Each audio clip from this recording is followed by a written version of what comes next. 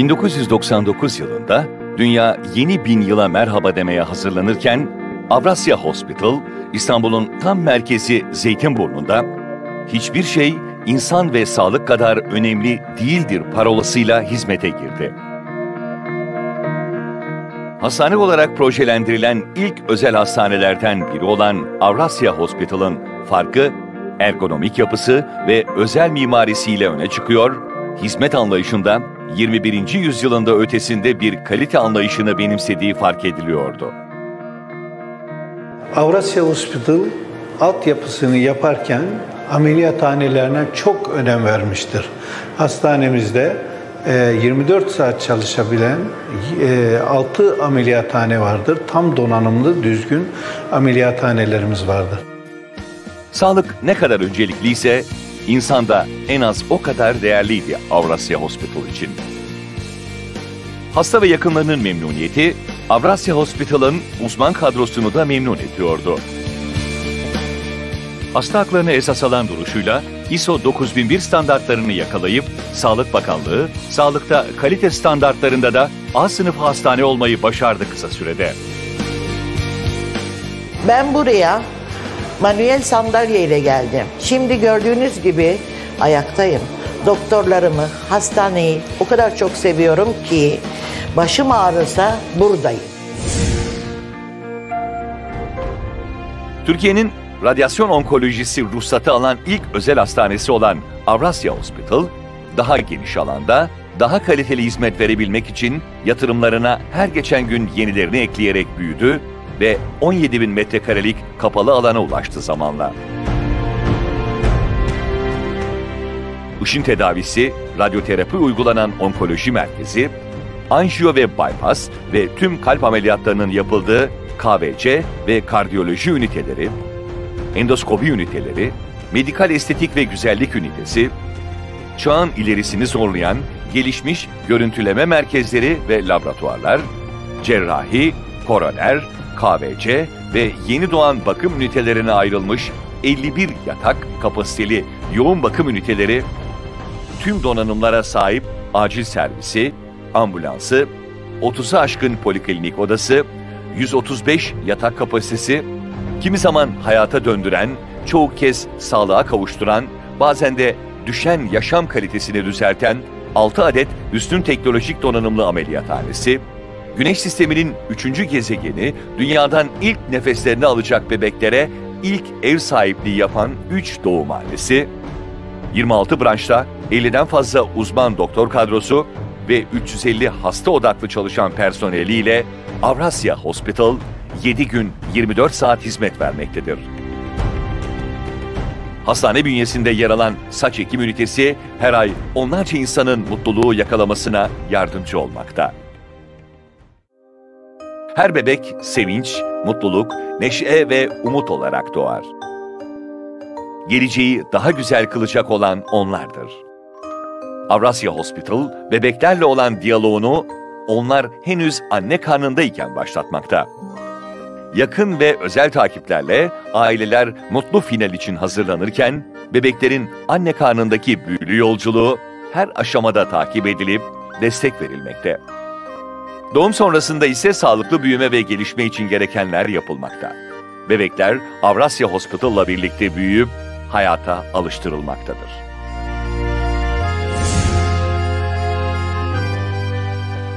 İstanbul'un göbeğinde yer alan Avrasya Hospital, Marmaray ve tramvay yolu üzerinde konumu ile size bir telefon kadar yakın. Bu telefon bir gün hayat kurtarabilir. 0212 665 50 50 Mutlu günler kıymetli izleyenlerimiz. Yine yeni bir Şifa Kapısı programımızda sizlerle birlikteyiz. Bu hafta Şifa Kapısı programımızda anjiyoyu konuşacağız. Anjiyoyu kiminle konuşacağız? Kalp ve damar cerrahi uzmanımız, başhekimimiz Profesör Doktor Ali Rıza Cenal bizlerle birlikte olacaklar. Ali Rıza hocama ilk soru olarak anjiyo nedir diye programımıza başlayalım efendim. Merhaba. Ee, anjiyo, e, anjiyo aslında damar demek. Anjiyografi de e, damarın görüntülenmesi demek. Yani damarın içine bir radyopak madde verilerek e, bunu bir X ışınlarıyla, röntgen ışınlarıyla e, hareketli bir şekilde izleyerek damarın e, yapısını, için e, düzenliliğini, damardaki tıkanıklıkları, darlıkları tespit etmektir. Anjiyografi, aslında anjiyo, anjiyografi demektir yani. Anjiyo daha biraz kısaltılmış bir hali. Anjiyografide e, tabii bu 1960'lardan sonra ancak daha yani yeni bir yöntemdir anjiyografi. Zaten bu sayesinde bypass ameliyatları falan yapılmıştır. Yani anjiyografi aslında son derece önemli bir e, işlemdir. Yani anjiyografi olmasaydı şimdi biz bypass ameliyatı falan yapamıyor olurduk. Yani damarları çünkü görüntülemek için anjiyografi yapmak muhakkak şart. Ee, bu anjiyografi sadece kalp damarları için de değil, bütün damarlar için, beyin damarları, göz damarları, aklınıza gelen bütün atar damarları. Ee, aslında ven, venler de, toplar damarları da, da anjiyografi yapılabilir. Onlar da özel durumlarda bazen e, onlar da anjiyografi yapılabiliyor. Ama bizim hani en çok sık olarak kurduğumuz kalple ilgili olan kısım koroner anjiyografi dediğimiz anjiyografi. Ee, koroner anjiyografide ne yapıyoruz? İşte, e, kasıktan ya da koldan bir atar damar yoluyla bir kılavuz tel yollanıyor. O kılavuz tel yoluyla e, görüntüleyeceğimiz damarın ağzına e, kateter yerleştiriliyor. O kateterin içinden radyo opak madde yani röntgende e, gözüken, X ışınlarından gözüken bir madde veriliyor ve o madde verildikten sonra da onun e, görüntüsü alınarak o damarın içi tamamen o e, maddeyle dolduğu için damarın içi tamamen e, görüntüleniyor. Ee, yani ona bakarak da işte damarda darlık var mı, tıkanıklık var mı, nerede ne kadar var ona göre işte ilaç tedavisi, stent tedavisi ya da bypass tedavisi yapılıyor. Peki hocam anjiyo niçin yapılıyor? İşte anjiyo bu damarları görüntüleyip işte e, ameliyat yapmak için, e, bypass yapmak için, stent yapmak için ya da tıkanıklık var mı teşhis için. Mesela hastanın göz diyelim ki gözü görmüyor. İşte ne yapıyorsun? Anjiyografi yaparak göz damarına bakıyorsun. Ya da işte felç geçirmiş oluyor. Ee, ya da beyinden işte anevrizmadan şüpheleniliyor. Beyin kanaması geçirmiş oluyor. İşte ona da anjiyo yaparak beyin damarlarına bakabiliyorsun. Aynı şekilde işte göğüs ağrılar oluyor, kalp krizi geçirmiş oluyor. O zaman da işte koroner anjiyografi dediğimiz anjiyografi yapılıyor. Anjiyo kimlere yapılır?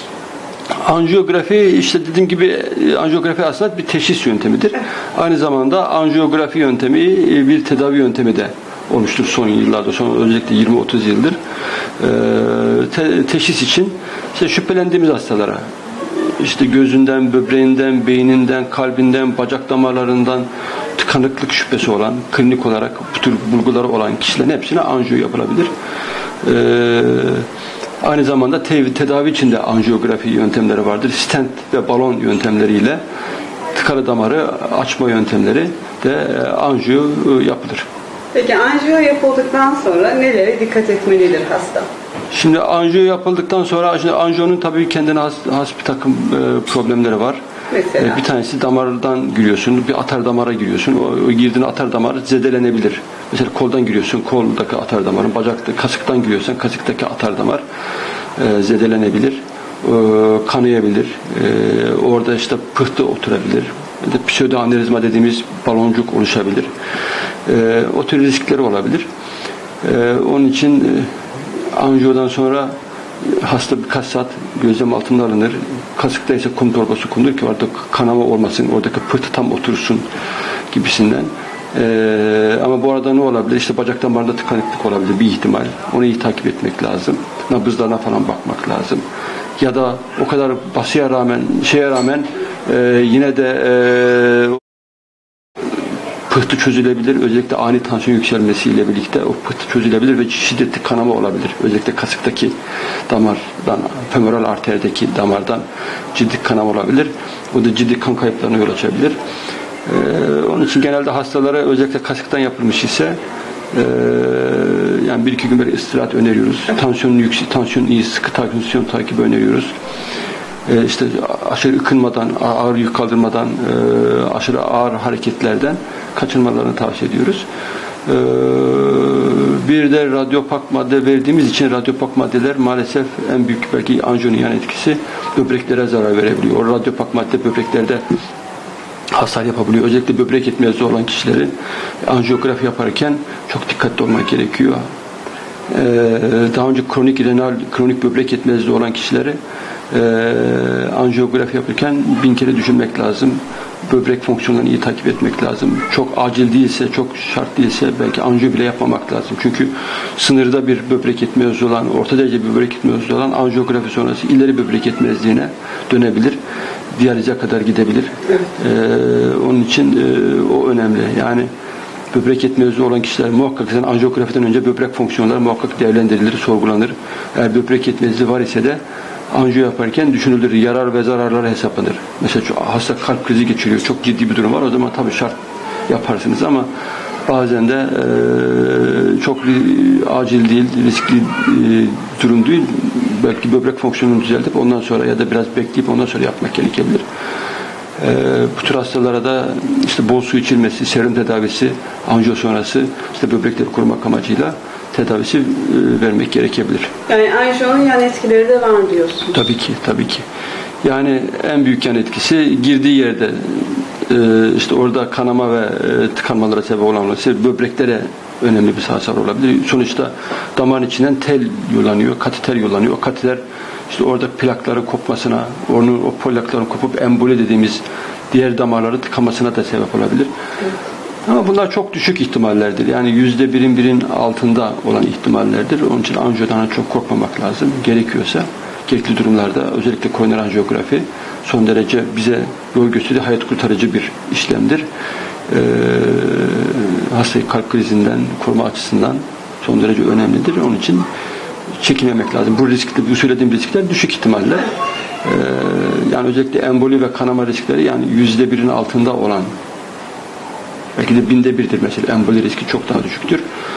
Ama böbrek fonksiyonları biraz daha önemli. Onun için zaten e, hastanın uyanık olması lazım. Böbrek yetmezliği varsa en azından doktoruna bilgi vermesi lazım. Daha öncesinden e, kan tahlilleri yapılması lazım. Peki kişi anjiyo olduktan sonra hocam ne kadar sürede ayağa kalkabiliyor? Ee, normal hayat Normalde 3-4 sonra 3-4 saat sonra ayağa kalkıyor. Kalkıp yürüyor kum torbası kalktıktan sonra. Ee, ama yine de bir iki gün biz biraz istirahat etmesini tavsiye ediyoruz. Orada hani o, çünkü yaklaşık bir yarım santim çapın, yarım santim değil, değil mi? 3-4 bilim çapında orada bir delik oluyor atar damarda. O damar sonra pıhtıyla kaplanıyor ama o pıhtı işte birden çözüldüğü zaman o da neden oldu işte aşırı tansiyon yükselmesi, aşırı hareket, ıkınma, işte ağır kaldırma e, gibi durumlarda o pıhtı çözülür ve kanama olabilir. Bu olmasın diye işte bir iki gün biraz dikkat etmek gerekiyor. Yani kişi kendisine dikkat edecek. Tabii, tabii. Yani böyle hareketli bir yaşamda biraz daha Bir iki gün, böyle. bir iki gün yani. yani çok aşırı uzun süreye gerek yok. Sonrasında normal hayatına Tabii tabii devam normal ediyor. hayatına devam ediyor tabii ki. Tabii peki burada bazı alışkanlıklar da var hocam. İşte bu alışkanlıklardan birisi sigara kullanımı.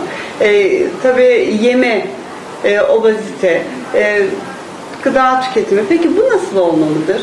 Yani zaten sigarayı hiç konuşmaya gerek yok. Sigara yani damarların bir numaralı düşmanıdır. Yani kanserleri yani kanserlerin de en, bazı kanserlerin bilgi tek sebebidir. Akciğer kanseri, gırtlak kanseri, dudak kanseri, dil kanseri, mesane kanseri. Bunlar belki tek sebebidir. O zararların yanında ilave olarak damarlara da çok ciddi zararlar verir. Özellikle damarın endotel tabakası dediğimiz iç yüzeyini damarı koruyan e, tabakaya çok ciddi zararlar verir ve bu zaman içerisinde damarda işte genişlemelere, damar tıkanıklarına, e, embolilere, anevrizmalara sebep olur. E, sigara onun için son derece damarlar yönünden son derece zararlıdır. E, yani muhakkak bırakmak lazım eğer içiyor, içiliyorsa. Onun dışında ikinci en büyük problem, damarlara en çok zarar veren ikinci en büyük problem diyabettir. Yani diyabetin de sebebi işte obezite ve beslenme alışkanlıklarındaki problem ve hareketsizlik. Yani, evet yani spor yapmadan işte e, göbekte ve göbek çevresinde yağlanma bu işte bir karaciğerdeki yağlanmayı gösteriyor biliyorsunuz. Karaciğerdeki yağlanma başladığı zaman da işte şeker hastalığı da başlar, kolesterol yüksekliği, tansiyon yüksekliği, ürik asit yüksekliği, metabolik sendrom dediğimiz bir sendrom gelişir. Ve bütün hastalıklar başlar. Onun için e, ta çocukluktan itibaren beslenme alışkanlıklarını e, düzen çocuklara özellikle iyi etmek lazım. Fast food. Çünkü çocuklar çok fast food'a çok eğilimliler. E, alışkanlıklarını e, zorlamak lazım. Normal geleneksel yemeklere döndürmek lazım. E, obezite son derece ciddi bir sağlık problemi. Dünyanın şu andaki belki de en büyük sağlık problemi. Yani obezitedeki en büyük problem diyabet. Diyabet olduğu zaman diyabet demek damar tıkanıklığı demek. O kadar Nettir yani. Diyabeti başladıysa damarları tıkanır. Bu kalp damarı da olur, göz damarın olur, beyin damarın olur, böbrek damarın, bağırsak damarın, bacak damarın, bütün damarların tıkanabilir. Ee, onun için ne yapacağız? İşte şekerden mümkün olduğu kadar uzak duracağız. Ekmek hamur işinin mümkün olduğu kadar dikkat edeceğiz.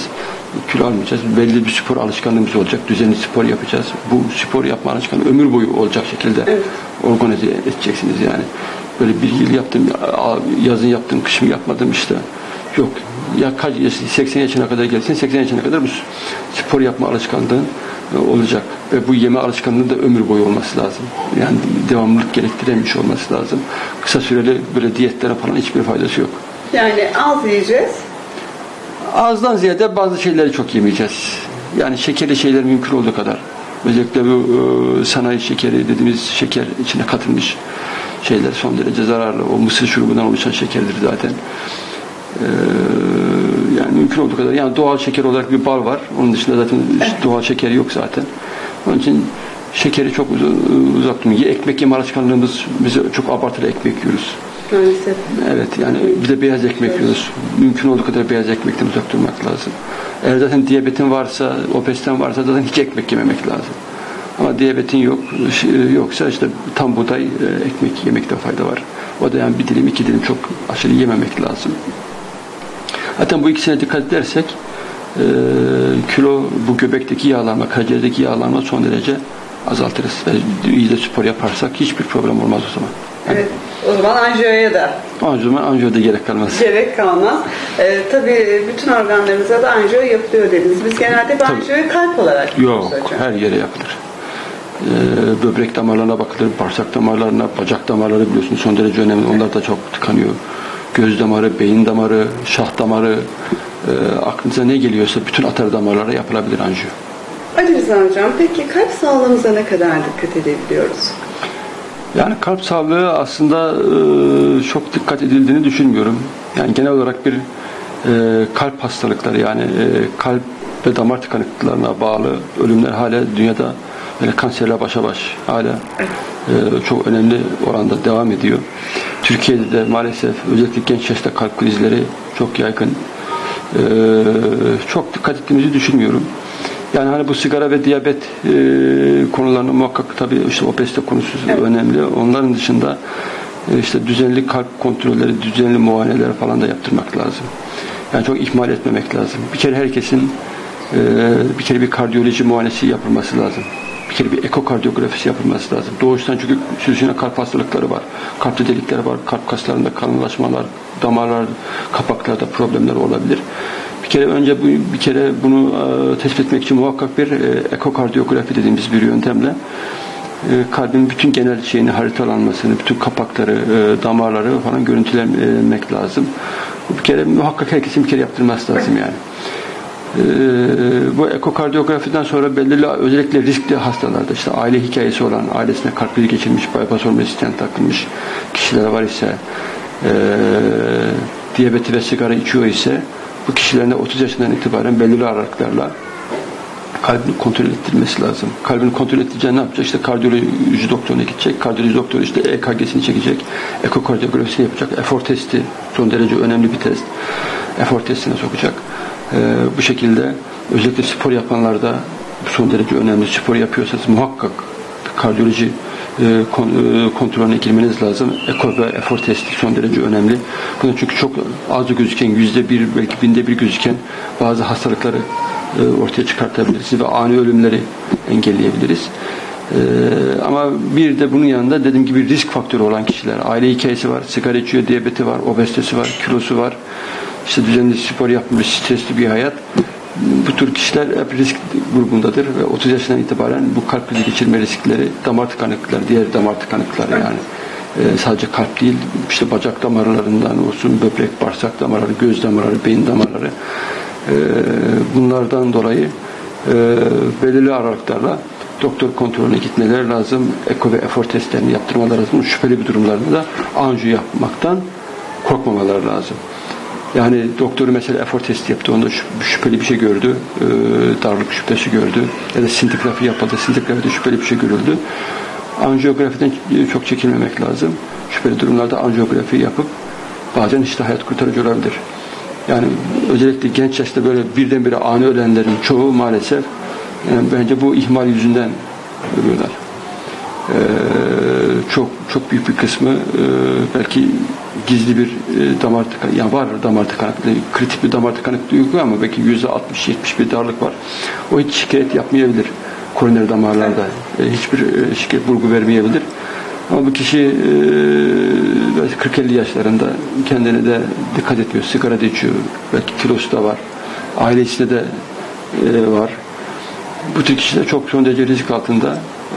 Bu herhangi bir şikayet yok ama bu 60-70 yüzde 60-70 darlık olan hastaya efor testi yaptığımız zaman bu efor testinde o %60-70 bize bir bulgu verebilir. Ve bu şey sayede hasta anjiyografi yapılarak oraya gerekli müdahale işte bypass olsun ya da stent olsun ya da ilaç basit bir kan sulandırıcı tedavi bile hayat kurtarıcı olabilir. Ya da hastayı işte konuşarak işte sigara içiyorsa sigarayı bıraktırması, obezitesi varsa obezitesini gidermesi, diyabetin kontrolü ve bir iki ilaç tedavisiyle belki hayatı kurtulacak. Ama bu, bu, bu basit ihmaller e, maalesef e, işte ölümle sonuçlanabiliyor. Maalesef Yani, biraz da sağlık noktasında ihmal bir toplumuz Evet, hocam. evet, en evet. son sağlığa bırakıyoruz Evet. zamanımızı. Yani son yıllar biraz daha iyi gibi geliyor hastalar bazen işte işte işte şüpheleniyorum işte kontrol yaptırıyorum diye ama bu hala da bence çok yeterli olduğunu düşünmüyorum. Daha da dikkat etmek lazım. Evet çünkü e, hiçbir şey sağlık kadar kıymetli değil. Kesinlikle tabii sağlık her şeyin başı. Ve hocam şu anda da yeni yıla gireceğiz. Tabii 2020 yılına gireceğiz. 2020 yılının da son e, şifa kapısı. Bugün e, kıymetli başhekimimizle birlikte yapıyoruz. Değerli hocamız e, Profesör Doktor Ali Rıza Ceren hocamıza çok teşekkür ediyoruz. 2020 yılında da bol bol sizleri bilgilendirici programlar yapmak e, dileğiyle diyoruz. Peki nasıl mesajlar verelim? Yeni yıl mesajı olarak neler söyleyelim? Herkese sağlıklı, hocam? mutlu yıllar diliyorum. Sağlık önemli demin dediğim gibi. Eğer yani bu risk faktörleri var ise sigara ve diyabet konusunda kişilerin yani biraz daha bu konu üzerinde uğraş. Çünkü ikisi de zordur tedavisi. Yani sigarayı bırakmak da zordur. İşte kilo varsa kiloyu vermek de zordur. Çok daha böyle uğraş vermelerini, çok çabalamalarını, son derece üzerine düşmelerini, yani hayati derece önemli olduğunu farkına varıp bu konu üzerinde çok yoğunlaşmalarını tavsiye ediyorum. Peki hocam stresin e, kalp hastalıklarında, kalp sağlığındaki rolü nedir? Stres çok şeyde etkilidir. Ee, yani stres olduğu zaman kişi işte obezite bile e, sebeplerinden bir tanesi de stres. Çok oturur yersin, çok tatlı yersin. O bile bir sebeptir. Sigara içersin, strese girersin. Ee, yani stres bütün otoimmün hastalıklar, bütün kanserler, yani bütün hastalıkların da çok ciddi önemi vardır stresin. Stresten de uzak durmak lazım mümkün olduğu kadar. Stresten uzak duracağız, sigaradan uzak duracağız, yediklerimize, içtiklerimize dikkat Dikkat edeceğiz edeceğiz. ve kaliteli bir yaşamla sağlıklı yaşama kavuşacağız. Kesinlikle kav- kavuşuruz. Kesinlikle. Evet tabi yeme alışkanlığı dediniz de hocam. E, yeme alışkanlıklarımıza baktığımız zaman şimdi o kadar zor bir e, zamanda yaşıyoruz ki Kesinlikle. neyin doğal, neyin organik ya da neyin kimyasal olduğunu seçemiyoruz, ayırt edemiyoruz. Yani ayet ediyoruz yapacak bir şey yok. Yani etrafımız kav- çevrilmiş tamamen bu Evet. durumla. Yani köye gidip de ya- yaşayacak durumumuz da yok. Ee, ama işte belki en azından İstanbul'un çevresindeki kırsal tarım alanlarını hani genişletebilir ya da yine Doğu Anadolu, Anadolu bölgesinde de kırsal bölgede de tarımı üzerine düşülebilir. Hayvancılık ve tarım üzerinde biraz çaba harcanabilir. Eğer bu tür girişimler artar ise ileride bu problemleri de çözeriz diye düşünüyorum. Yani bu biraz tabii e, daha ayrı konular, daha ekonomik ve sosyal konular. E, Burada devlete çok yük düşüyor. Devletin de bu işte çok uğraştığını biliyorum ama e, sanırım daha yeterli değil, daha da böyle üzerine düşmek gerekiyor sanırım. Evet, kimyasal ürünlerden uzak Tabii, durmamız tabii, tabii, gerekiyor. tabii. Ve e, çocuklarımıza da bu Facebook alışkanlığından da Çocuklarımız çok kötü durumda Evet. yani. Maalesef. Maalesef ben, benim çocuğum dahil yani. Kurtaramıyoruz yani. Ee, evet aslında e, en büyük sorun e, çocuklarda başlıyor. Çünkü e, küçük yaşta e, vereceğiniz eğitim, onları sağlık konusunda Ne kadar eğitim verirseniz verin okula gidiyor, gidiyor arkadaşlarına gidiyor. Her şeyi mümkün engelleyemiyorsunuz. Yani tam okul çağına kadar kontrol edebiliyorsunuz ama okul çağından sonra kontrol çok fazla olmuyor maalesef. Evet. Bazı hastalıklar küçüklükten dahi başlayabiliyor. Tabii başlar ki tabii tabii. Obesetenin en büyük kaynağı bu er- ergenlik döneminde olan kilolardır yani. Yani son derece önemli. Evet siz her programınızda da bunu dile getiriyorsunuz hocam. Sigara ve obezite Son derece önemli iki problem. bu iki problemi aştığımız süreçte Evet. daha yani sağlıklı evet. nesiller Kesinlikle, kesinlikle, kesinlikle. Yani insan ömrünü artık 100 100-120 yaşına kadar uzatabiliriz. Bu iki şeyi azaltabilirsek. Çünkü bu kan- şu andaki en önemli ölüm sebebi kalp damar tık- tıkanıklıkları ve kanserler. Evet. Bu ikisi en, en büyük sebeplerdendir. Kanserlerin de sebepleridir. Sadece kalp ve damar değil yani. Ani kalp krizleri Onun dışında kanserlerde de önemlidir. Sigara mesela son derece önemli. Obezite yine kanserlerde son derece önemli. E, Dün akşam e, hocam e, Sivas İl Emniyet Müdür Yardımcımız Sayın Ali Özcan da e, halı sahada maç yaparken ani bir kalp krizi geçiriyor. E, bugün de e, cenazesi Ya, defnedildi. ya yazık Yani işte böyle kaybediyoruz yani maalesef. e, Ani ölümlerle de karşı karşıya kalınabiliyor. Tabii demin Kalp anlattım işte yani evet yani işte kişinin kendisini bilmesi lazım. Risk faktörlerini iyi değerlendirmesi lazım. Riskleri varsa işte ilaç, dikkat etmesi lazım. Ee, yani belirli bir yaştan sonra mesela riskin var ise böyle ağır sporlar değil de daha hafif sporlar yapmak lazım.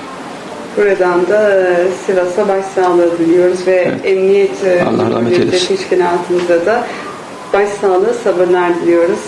Sayın rahmetlik e, Ali Özcan'ın ailesine de sabır diliyoruz.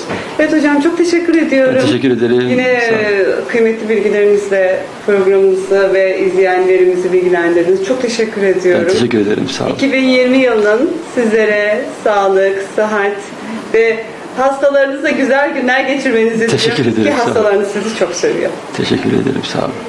Ve Ben de, ben de onları seviyorum. Hastanesi de tercih edilen bir hastane bu noktada. Çünkü sizden gibi çok başarılı hekimler var. Var, var, tabii ki, Hastanemizin tabii. başhekimi olarak da çok da güzel bir yönetim kadromuz var. Ee, ekip arkadaşlarınız çok başarılı. Ve bu noktada da dışarıdan da çok sayıda yurt dışında e, sizi Tabii tercih ki. eden tabii, hastalarınız tabii, var. tabii, tabii, tabii. Özellikle son zamanlarda yurt dışı hastalarımız da bayağı arttı. Yani bu işte e, memnuniyetle ilgili. Yani ne kadar böyle biz iyi, çok burada ağır ameliyatlar yapıyoruz, çok güzel ameliyatlar yapıyoruz. O sayede öyle olunca tabii e, geri dönüşte oluyor tabii ki. Peki ben çok teşekkür ederim Ali Rica ederim, Hocam. rica ederim. Evet kıymetli izleyenlerimiz Şifa Kapısı programımız devam ediyor ve kalp sağlığımıza ne kadar dikkat ediyoruz? Ee, Avrasya Hastanesi'ndeyiz ve misafirlerimize soruyoruz. Evet efendim siz öncelikle tanıyabilir miyiz? Ben e, Mustafa Işık. Mustafa Bey kalp sağlığımıza dikkat ediyor muyuz? Var elimizden geldiği kadar diyor. Doktorlar ne dedirse onu yapmaya çalışıyoruz. Evet. Evet. Peki e, doktorumuz kimdir? Ali Rıza Bey doktorumuz. Rıza Bey. Evet. Peki Ali Rıza Bey size neler söylüyor? Ne tür tavsiyelerde bulunuyor ve siz neler yapıyorsunuz? Şimdi bize diyor çok yağ yemeyeceksiniz. Spor yapacaksınız. Çok tuzlu yemeyeceksiniz. Bunlara dikkat edin. Biz de harfen yapıyoruz. Ve şükür şu anda hiçbir şeyimiz yok.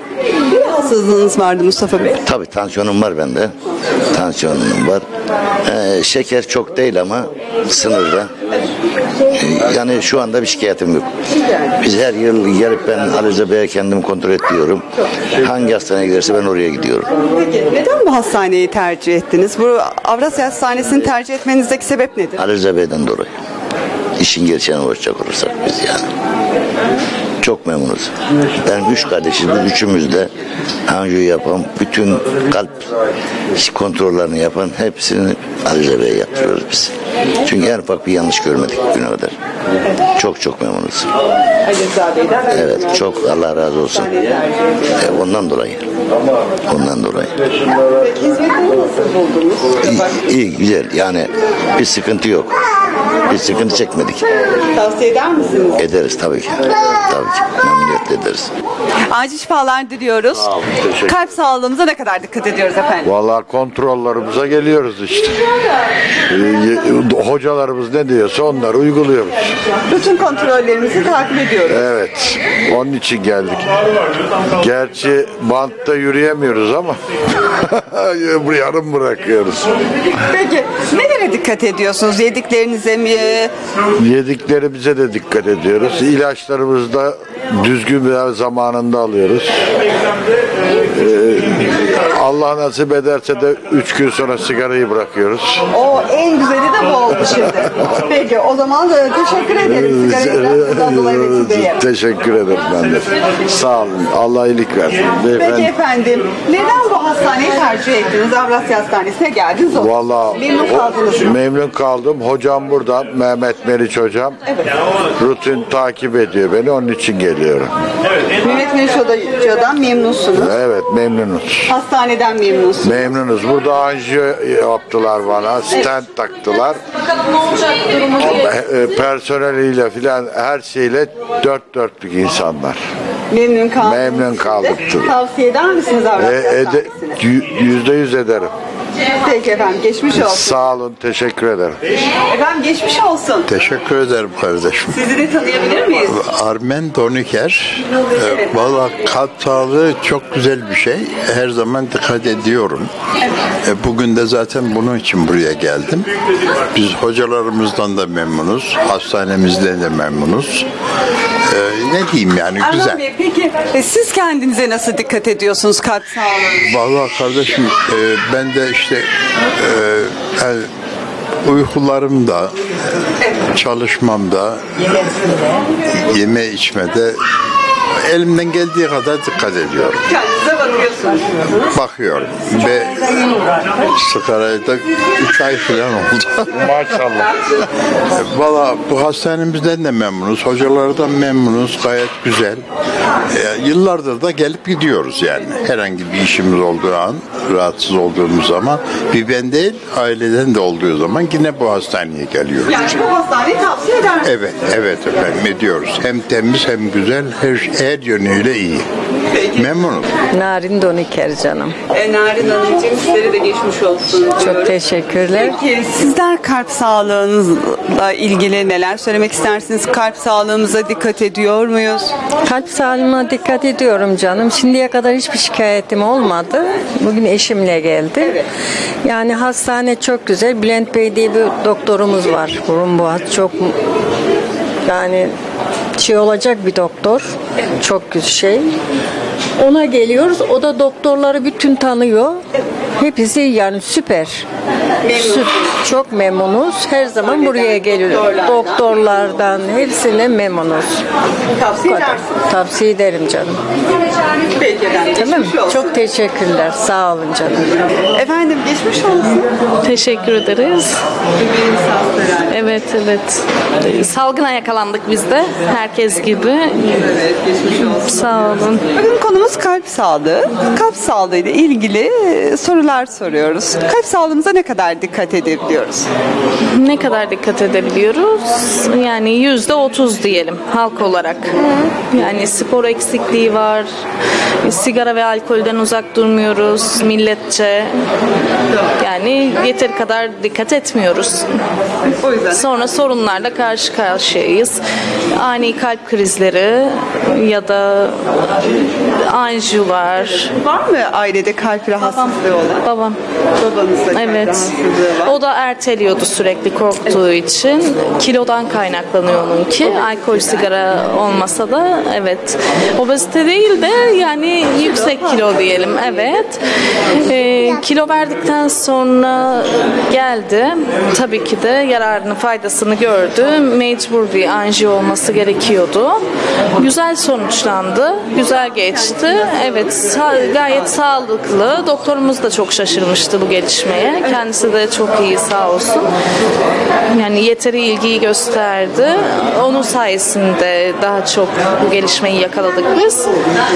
Hastanemizden memnunuz tabii ki. Biz yani en büyüğümüzden en küçüğümüze kadar bu hastaneye gidiyoruz efendim.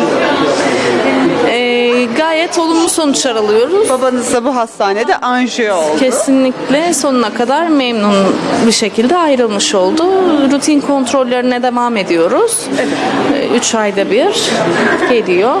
Siz e, ailece bu hastaneyi tercih ediyorsunuz herhalde. E, Kızımızın Evet, doğumlarımızı da bu hastanede yapıyoruz. Neden peki Avrasya Hastanesi'ni tercih ediyorsunuz? Tercih etmenizdeki etken nedir? Evimize çok yakın, ailemiz gibi oldu artık doktorlarımız, hemşirelerimiz. Bu nedenle ve yeteri kadar ilgilendiğini düşünüyoruz. Hastane sahibi olsun, hemşirelerine kadar, temizlik görevlilerine kadar. Herkes çok aile bireyiymişiz gibi ilgi ve alakasını eksik etmiyoruz da. Peki efendim. O yüzden teşekkür ederiz. Teşekkür ederiz. Ben Rabia. Soyadım Baştuğ. E, Rabia Hanımcığım geçmiş olsun. Teşekkür ederim. E, nedir rahatsızlığınız? Ee, biz bebeğimiz doğuştan, doğumda hep anne karnında aynı yere yattığı için kasında ufak bir sorun vardı. Fizik tedaviye geliyoruz onun için. Peki geçmiş olsun. Bu Teşekkür hastanede doğum yaptınız. Evet. Biz sülalecek bu hastanenin vazgeçilmeziyiz. Ayrıca sahibinde aile dostumuz gibi kendisi de. İrimizden ufağımız senelerdir hep buradayız. Zeytinburnu'dayız. E, tekrar geçmiş olsun diyoruz. Bu hafta kalp sağlığıyla ilgili sorular soruyoruz. Kalp sağlığımıza ne kadar dikkat ediyoruz? Elimizden geldiğince etmeye çalışıyoruz ama yani çok da edemiyoruz gibi bence. Yememize içmemize dikkat etmeliyiz. Daha çok aslında dışarıdan yiyip içmemeliyiz. Spor yapmalıyız. Yani bu şekilde kendimize dikkat etmeliyiz. Bol su içmekte fayda var diyor doktorlar. Babam benim kalp hastası oradan biliyorum. Ayrıca halamlarda da var. Gizli kalpten vefat etmişti kendisi. Ailemizde var. Peki kendilerine e, rutin kontrollerini yaptı. He he, Hepsi burada. Ee, şu an doktorun ismini unuttum ama yine burada e, muayene. Ha, evet evet Ali Rıza Hoca'ya muayene oldular. Babam yine anji oldu. Halam aynı şekilde yine anji oldu. Diğer halam da varmış ama haberimiz yoktu. Gizli olduğu için onu kaybettik maalesef. Ama hepsi burada muayenelerini sürdürüyorlar tedavilerini. Tedavileri Avrasya Hastanesi. Ha ha hepsi Avrasya Hastanesi'nde. Burada yoğun bakımda yattılar bir gece ve çok memnun kaldılar. Hiçbir şey hissetmemişler. Hatta benim babam çok tereddüt ediyordu. Korkuyordu açıkçası. Biraz aksattı o. Daha sonrasında buraya rahatsızlığı fazlalaşınca tekrar geldi. Muayeneye geldi. Direkt anjiyo alındı.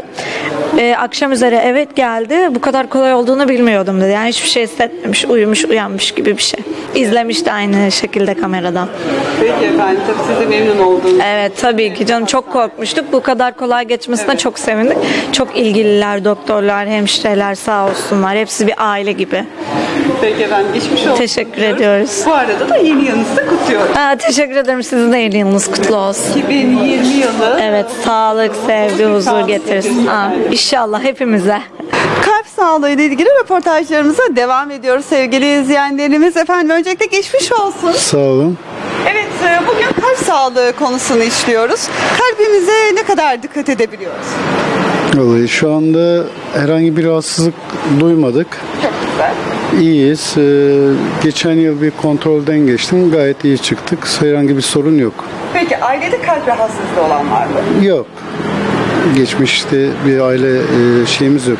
Çok güzel siz o zaman şanslı grupsunuz. Aynen, aynen. Peki Teşekkür- e, kalp sağlığınıza dikkat ediyorsunuz, kendinize de dikkat ediyorsunuz. Evet, sigara da kullanmıyorum. Çok güzel, sigara kullanımı yok.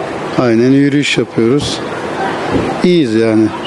Çok güzel. O zaman e, sağlıklı günler dileyelim. Sağ olun, teşekkür Peki, ederim. e, şu anda Avrasya Hastanesi'ndeyiz.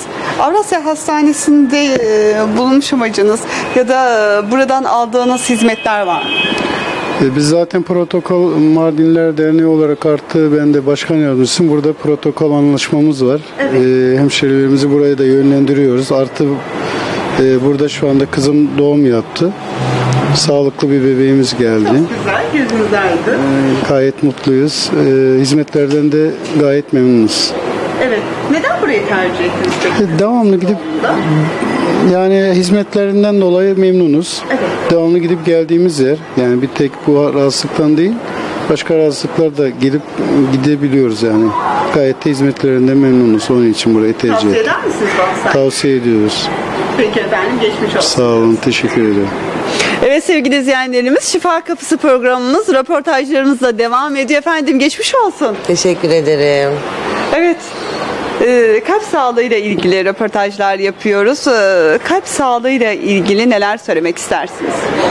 Yani sağlıklı beslenmek gerekiyor. Sigara kullanmamak gerekiyor. Yani benim dikkat etmemiz gerekiyor. Evet benim de bir şikayetim yok. Gayet iyiyim. Ben de her sene rutin kontrollerimi yaptırıyorum. Bu zamana kadar çıkmadı. Tabii kontrollerinizi yaptırdığınız için de şu an bir rahatsızlığınız yok. Yok çok şükür. Önemli olan da bu zamanında. Tabii ki, tabii ki. kontrolleri yaptırmak. Evet, evet. Artı e, burayı neden tercih ediyorsunuz derseniz kızım da burada görev yapıyor. Hemşire kızım burada. E, kızımdan önce de burada görev yapmadan önce de ben sürekli buraya gelip gidiyordum. Çok beğendiğim hizmetinden, çalışanlarından çok memnun olduğum bir hastane. Ben herkese de tavsiye ediyorum. Peki efendim geçmiş olsun. Teşekkür ederim. Evet sevgili izleyenlerimiz kalp sağlığı ile ilgili röportajlarımıza devam ediyoruz. Efendim geçmiş olsun. Teşekkür ederiz. Siz Çok sağ tanıyabilir olun. miyiz? Ferhat Salmanlı. Ferhat Bey kalp sağlığı ile ilgili neler söylemek istersiniz? Yani neler söylemek isterim? Çok iyi bakmalarını tavsiye ederim. Ee, rutin e, kontrollerini muhakkak yaptırsınlar. Çünkü biz üşengeç ve tembel bir milletiz galiba bu konularda. Ee, check-up diyelim. Bunu muhakkak senede bir muhakkak yaptırsınlar. Ben iyiyim demesinler. Muhakkak e, bunu yaptırmaya gayret etsinler. Çünkü şakaya gelmez. Peki ailede kalp hastası olan var mı? Yok. Tabii benim e, öyle bir tesadüf öğrendik. E, aort kapağım değişti. 14 yıl kadar oldu. Ama iyiyiz çok şükür şu an iyiyiz. Çok şükür tabii. 14 yıl içerisinde herhangi bir rahatsızlıkla karşı Yok yok. şikayetiniz oldu mu? Yok yok yok yok. Yani iyi baktığın sürece, dengeli bir hayatın olduğu sürece bir şikayet yok. Nasıl korudunuz kendinizi ameliyattan sonra? Yani elimden geldiğince dengeli yaşamaya çalıştım. Çok şükür Rabbime eşimi nasip etti bana. Tabii denge biraz daha oturdu hayatımdaki. Elhamdülillah. İyi. Şu an gayet iyisiniz. Şükürler olsun. Şükürler olsun. Yani sakıncalı, zararlı şeylerden uzak durmak gerekir. Tabii bu sigarayın başında. Ee, bu. Ama söyleyeceğim kalple ilgili muhakkak her sene kontrol etsinler kendilerini. Çünkü bende bir şey yok demesinler şakaya gelmez. Allah korusun bir rahatsızlıkta e, gelip check-up'a vereceği paranın çok çok fazlasını veriyorlar. Yani önemli olan burada paraysa. Evet. Peki efendim şu anda Avrasya Hastanesi'ndeyiz. Neden Yani. bu hastaneyi tercih ettiniz? Güveniyoruz. Güveniyoruz. Ee, güven de tabi burada e, çok açıdan olabilir. Personeldir, hastasıdır, şey doktorlarıdır. Ee, bu zaten bizim için yeterli. Yani güvenilik olsun bizim için yeterli. Güvendiğimiz için buraya geliyoruz. Geçmiş olsun. Teşekkür ederim. Ve bebeğimiz e, rahatsız Evet herhalde. biraz rahatsızlığı var. Bu da doktoruna getirdik. Evet kaç aylık bebeğimiz? İki buçuk aylık. Oh maşallah 40 kere maşallah Çok sağ diyelim. olun. 2020 yılı sağlık, huzur, mutluluk getirsin Amin bebeğimize inşallah. ve Çok sizlere. teşekkürler inşallah. Ve vatanımıza inşallah. Evet. Evet efendim kalp sağlığıyla ilgili röportajlar yapıyoruz. Eşinizin de ufak bir rahatsızlığı olduğunu belirtti. Nasıl dikkat ettiniz? Ameliyat sonrası. O dönemde ben yanında değildim gerçi. Biz daha sonradan tanıştık ama şu an mesela yediğine içtiğine dikkat etmesi gerekiyor. Spor yapmaya çalışıyor düzenli bir şekilde. Yani hayatını daha e, kaliteli yaşamaya çalışıyor kalp sağlığı için. Onlara dikkat ediyoruz. Evet, aslında hanımefendi en önemli noktayı mesajını verdi. Kaliteli yaşam dedi. Kaliteli yaşayabilirsek herhangi bir rahatsızlığımızın olmayacağını düşünüyorum. Hani bu kaliteli yaşam demek illa her şeyin en lüksü değil. Yani hani beslenme açısından dediğim gibi spor. Yani vücut sağlığına dikkat etmesi açısından önemli şey. Biz de elimizden geldiğince çocuklarla yapmaya çalışıyoruz bunları. Tabii önemlisi mutlu bir aile. Evet, stressiz. Mutlu bir aile. Stres çok önemli değil. Doğru, aynen. En önemlisi zaten hem de. Tabii ki. Yani ailesi için iyi olmak zorunda hissediyor. Evet. Bu da en büyük teşvik. Nasıl yapabilirim? Ailem için iyi olmam gerekiyor. Bu yani. E, Bizim tavsiyemiz mutlu bir insan olmak, iyi bir insan olmak. Yani yoksa e, iyi bir insan olmazsa kalbi de kötü olur. Hayatı da kötü olur. Allah korusun. İnşallah biz onlardan olmayız. Çok güzel. Peki efendim, e, neden bu hastaneyi tercih ettiniz? E, daha iki buçuk aylık bebeğinizi bu hastaneye Evet. getirdiniz. Neden burası? Ya biz zaten ilk kızım var iki yaşında. Onu da burada doğum yaptık. Biz o şekilde aslında tanıştık Avrasa'yla. Yani ama şimdi şu an kendi doktoruna getiriyoruz. Ee, doğum doğumdan da memnun kaldık yani biz her açıdan dediğim gibi. Hani ilgi alaka güzel. Bir sıkıntı da hiç yaşamadık sağlık açısından. Gayet de memnunuz. Ablası O da yüzden buradan. ikinciyi de burada doğum yaptık. İkincisi bu. Bir de iki yaşında ablası var. Ve ilk bebeğinizi de burada Hı hı, Onu da burada dünyaya getirdik. O şekilde zaten Avrasya ile tanıştık. Şimdi bir sıkıntı olduğunda buraya geliyoruz. Tabii çevremizden de Güveniyoruz. methediyorlardı. Tabii tabii. Övüyorlardı. O yüzden Ha, ö- tabii bir e, şeyle, biz de tavsiye dedik üzerine. gidelim o zaman. Çünkü çok önemli böyle ko- şeyler. Tavsiye burasıydı. Geldik. E, çok şükür bir şikayetimiz yok. Çok da yaşamadık yani. rahatız. Hoşumuza gitti. Devam.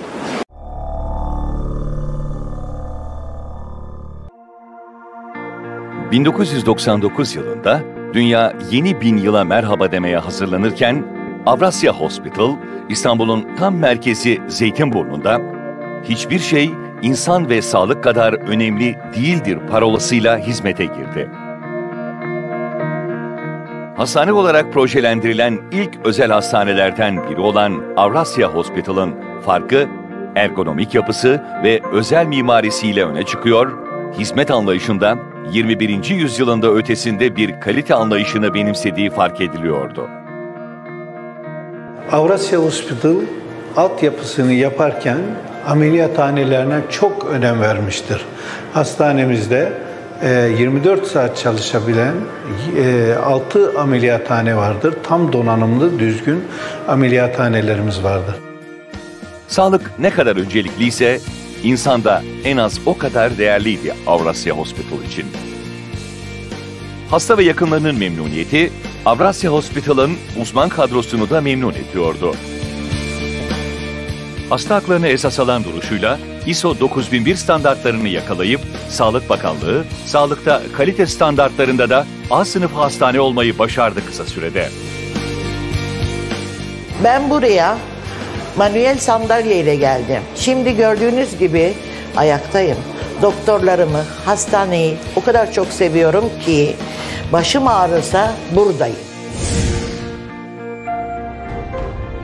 Türkiye'nin radyasyon onkolojisi ruhsatı alan ilk özel hastanesi olan Avrasya Hospital, daha geniş alanda, daha kaliteli hizmet verebilmek için yatırımlarına her geçen gün yenilerini ekleyerek büyüdü ve 17 bin metrekarelik kapalı alana ulaştı zamanla. Işın tedavisi, radyoterapi uygulanan onkoloji merkezi, anjiyo ve bypass ve tüm kalp ameliyatlarının yapıldığı KVC ve kardiyoloji üniteleri, endoskopi üniteleri, medikal estetik ve güzellik ünitesi, çağın ilerisini zorlayan gelişmiş görüntüleme merkezleri ve laboratuvarlar, cerrahi, koroner, KVC ve yeni doğan bakım ünitelerine ayrılmış 51 yatak kapasiteli yoğun bakım üniteleri, tüm donanımlara sahip acil servisi, ambulansı, 30'u aşkın poliklinik odası, 135 yatak kapasitesi, kimi zaman hayata döndüren, çoğu kez sağlığa kavuşturan, bazen de düşen yaşam kalitesini düzelten 6 adet üstün teknolojik donanımlı ameliyathanesi, Güneş sisteminin 3. gezegeni, dünyadan ilk nefeslerini alacak bebeklere ilk ev sahipliği yapan 3 doğumhanesi, 26 branşta 50'den fazla uzman doktor kadrosu ve 350 hasta odaklı çalışan personeliyle Avrasya Hospital 7 gün 24 saat hizmet vermektedir. Hastane bünyesinde yer alan saç ekim ünitesi her ay onlarca insanın mutluluğu yakalamasına yardımcı olmakta. Her bebek sevinç, mutluluk, neşe ve umut olarak doğar. Geleceği daha güzel kılacak olan onlardır. Avrasya Hospital, bebeklerle olan diyaloğunu onlar henüz anne karnındayken başlatmakta. Yakın ve özel takiplerle aileler mutlu final için hazırlanırken, bebeklerin anne karnındaki büyülü yolculuğu her aşamada takip edilip destek verilmekte. Doğum sonrasında ise sağlıklı büyüme ve gelişme için gerekenler yapılmakta. Bebekler Avrasya Hospital'la birlikte büyüyüp hayata alıştırılmaktadır.